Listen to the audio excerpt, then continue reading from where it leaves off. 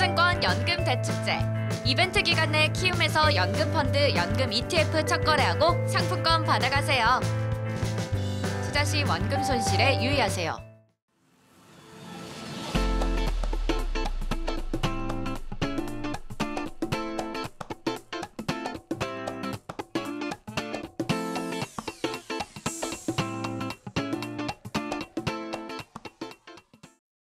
전일 특징주입니다. 어제 우리 시장에서 외국인과 기관 그리고 키움증권의 수익률 상위 고객분들이 동시에 매매했던 종목들을 살펴보는 시간인데요.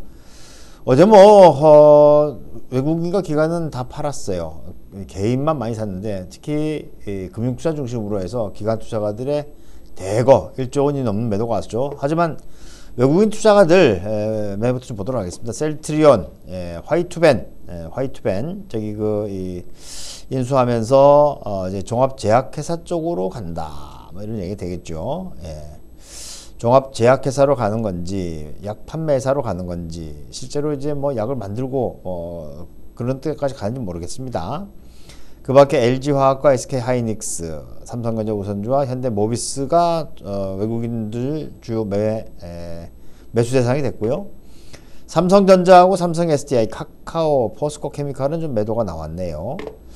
코스닥에서 어, 그, 그, 그 기관 투자가들은 유가증권 시장에서 매수한 것이 카카오 한진칼, 예, 한진칼이 눈에 보였어요. 한진칼 예, 여전히 남매들 간에 에, 갈등이 있는 모양이죠. 음, 포스코 케미칼과 아, 예, 아시아나항공 등 매도는 뭐 어제 삼, 성전자하고 SK하이닉스를 쏟아부었군요. 삼성전자 3,600억, SK하이닉스 예, 1,500억, 에, 그리고 현대차, 현대모비스, 셀트리온 이렇게 매도가 있었고요. 코스닥에서 외국인 투자가들은 제넥신과 씨젠을 매수했고 차바이오텍과 셀리버리, KH바텍은 매도를 했습니다. 어, 국내 기관들은 코스닥 시장에서 차바이오텍을 샀고 셀리버리, ITM 반도체, KH바텍 이렇게 매매가 있었는데요. 차바이오텍은 어제 외국인하고 기관 쪽에서 block이 돌았을까요? 예. 자 그리고 국내 기관 투자가들은 셀트리온 헬스케어와 HLB를 매도를 한 그런 상황이 됐습니다. 자 그러면 어제 우리 시장에서 외국인 기관 그리고 키움증권 상위 고객분들이 동시에 순매수를 많이 한 종목들을 보도록 하면요. 자, 제일 위에는 LG화학이 올라와 있습니다. 그 밖에 셀트리온과 카카오, 한진칼, 시젠 이렇게 되어 있는데요.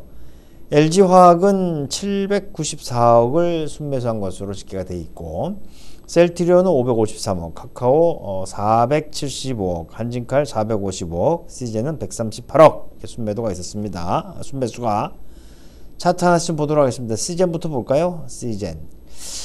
자, 시젠이 에, 코로나 진단 키트로 아주 급등해서 14만 1,400원을 찍고 난 다음에 지금 쌍봉을 만들어 놨었단 말이에요. 이게 좀 이제 안정을 시키기 위해서는 음, 뭔가 좀 더 조금 더 들어 올려줘야 되는데 아직 추세는 괜찮습니다. 아, 나머지 이제 장기 이동 평균선들하고 이격이 있기 때문에 옆으로 좀 기는 것으로 보여지는데 실제로 이제 이동 평균선하고 닿았을 때 만났을 때 어떤 방향을 보여주느냐 하는 게 관건이 될 것 같고요. 자, 다음은 한진칼입니다.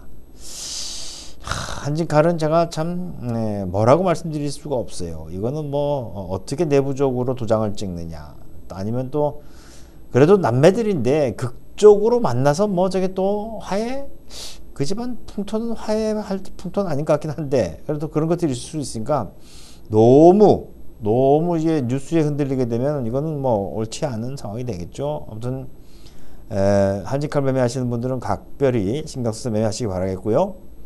카카오. 자, 카카오. 예.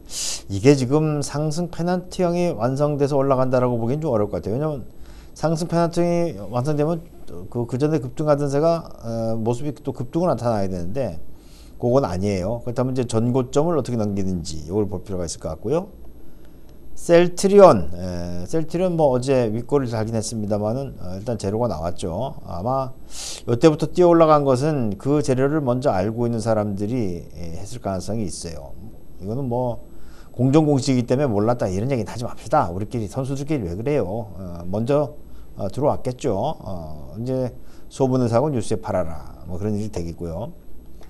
LG 화학 LG화학, 어, 괜찮아요. 예, LG화학 요즘에 뭐, 뿜어 올리는 것이 어, 만만치 않습니다. 어제도 거래도 좋고 음, 2차 전지 주도주 이렇게 보- 볼 수가 있겠군요. 자 마지막으로 거래대금 상위 종목들 좀 보도록 하겠습니다. 삼성전자 그렇게 팔아제꼈으니 제일 위에 있겠죠. 어, 셀트리온도 어제 관심 끌었습니다. LG화학, 삼성SDI, 신풍제약, SK하이닉스, 카카오 이런 종목들이 유가증권 시장에서 아, 거래가 제일 많았던 종목이고요. 어, 코스닥은 셀트리온 헬스케어와 제넥신, ABL바이오, 셀트리온 제약, 빅텍, 녹십자 랩셀, 엔지켐 생명과학, 레고켐 바이오, 녹십자 웰빙 예, 이런 종목들이 에, 거래대금 상위에 이름을 올리고 있었다 보시면 되겠습니다.